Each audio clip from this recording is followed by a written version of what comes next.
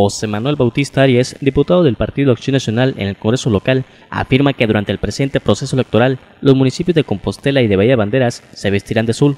Además, el parlamentario del Partido Acción Nacional mencionó que el pasado fin de semana los habitantes de los municipios antes mencionados se volcaron a favor de la candidata gobernadora Martelena García Gómez y de los candidatos del PAN durante los eventos masivos que se realizaron en aquellas zonas. De igual manera, José Manuel Bautista Arias sostuvo que día con día son más los nayaritas que se integran a los proyectos de gobierno de Martelena García Gómez, de Pablo Pimienta y de Rafael Cervantes.